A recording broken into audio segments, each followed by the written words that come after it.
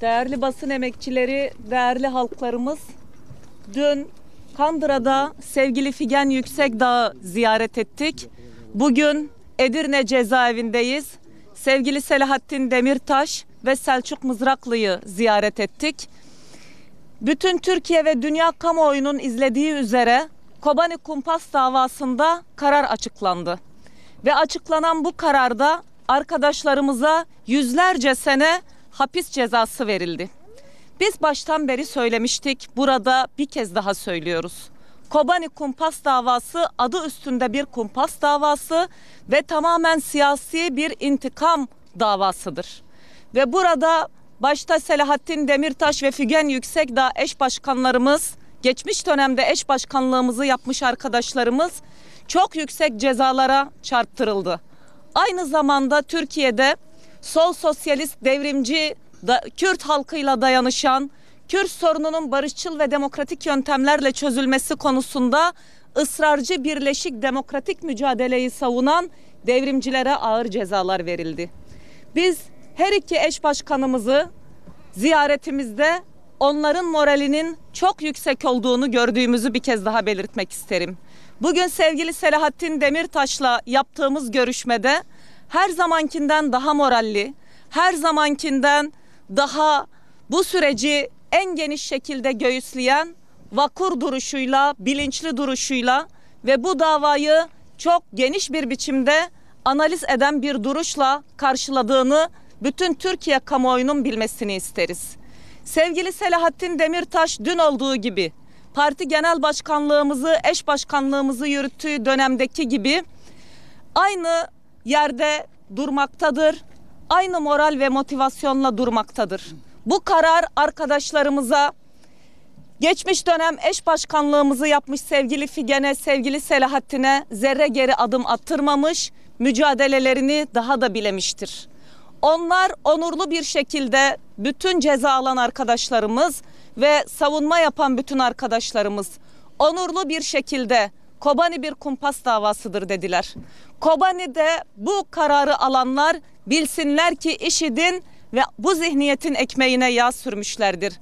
Arkadaşlarımız tam da bu bilinçle bütün Türkiye'deki demokrasi güçlerine sesleniyorlar. Bugün buradan şu mesajı vermek istiyoruz. Sevgili Selahattin eş başkanımız ve sevgili Figen Yüksekdağ eş başkanlarımız şu mesajı bütün Türkiye halklarına veriyorlar. Bizler içeride çok moralliyiz. Herkese selam ve sevgilerimizi iletiyoruz. Dışarıdakiler de demokrasi mücadelesinden zerre geri adım atmasınlar, dayanışma içinde olsunlar mesajını yüksek bir biçimde verdiler. Sevgili Selahattin Demirtaş bugün bütün selam ve sevgilerini en içten duygularıyla siz basın emekçilerine ve Türkiye'deki bütün halklara ilettiğini bir kez daha altını çizmek isterim. Gayet iyilerdi, gayet morallilerdi.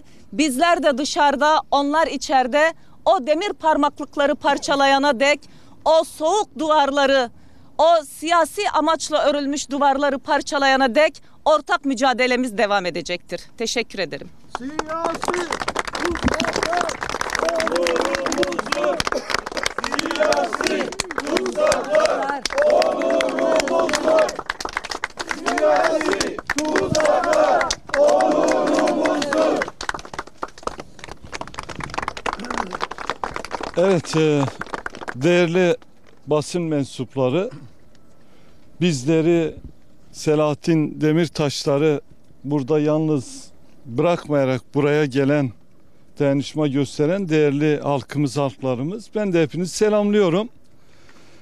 Tabii Kobani derken direniş mücadele akla gelir. Kime karşı direniş, kime karşı mücadele? Orta Doğu'da gerici kadın düşmanı, halklar düşmanı, inançlar düşmanı IŞİD, IŞİD'e karşı verilmiş, örnek olmuş bir mücadeleden bahsediyoruz.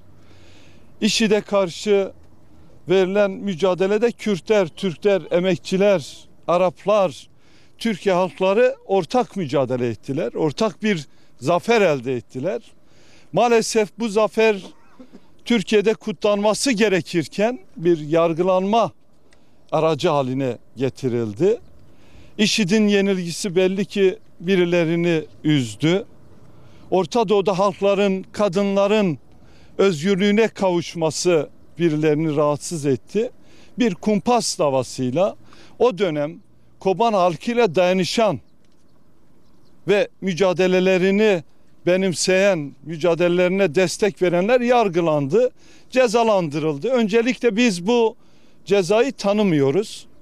Kürtler, emekçiler, kadınlar, Türkiye'de halklar bu verilmiş cezayı tanımayacaklardır. Selahattin Demirtaşlar, Figen Yüksekdağlar Türkiye halklarının gönlünde zaten özgürdürler. Asla cezaevinde olarak görmüyoruz. Onlar cezaevinde mücadelelerine devam edecekler. Bizler de bugün burada olduğumuz gibi halklarımızla birlikte cezaevindeki bütün tutsak, siyasi tutsak yoldaşları özgürleştirinceye kadar, Türkiye'yi demokratikleştirinceye kadar mücadelemizi devam ettireceğiz. Selahattin Demirtaş Başkan da aynısını söyledi. Birlikte dayanışma içerisinde daha güçlü bir şekilde onlar cezaevinde biz dışarıda emekçilerle, halklarla birlikte bu mücadeleyi yükselteceğiz. Bu haksız, hukuksuz davanın önümüzdeki dönem aşamalarında bozulmasını e, arkadaşlarımızın beraat etmesi için elimizden gelen bütün mücadeleyi ortaya kararlılıkla koyacağımızı belirtmek istiyorum. Selahattin Başkan başta partimiz, halklarımız olmak üzere Türkiye'deki diğer siyasi parti ve kurumlara da teşekkürlerini iletti. Kobani Kumpas davasındaki dayanışmayla, ortak mücadeleyle sahiplenmeden dolayı selamlarını, sevgilerini yollamıştı. Biz de bir kez daha sizin aracılığınızda şu sözü veriyoruz. İçerideki arkadaşlarımızla birlikte, dışarıda mücadele eden insanlarımızla, halklarımızla birlikte siyasi tutsaklar özgürleşinceye kadar, Türkiye demokratikleşinceye kadar bu tür siyasi kumpas davaları olmayıncaya kadar kararlı kararlı bir şekilde mücadele edeceğimizin sözünü veriyor. Hepinize teşekkürlerimi sunuyorum.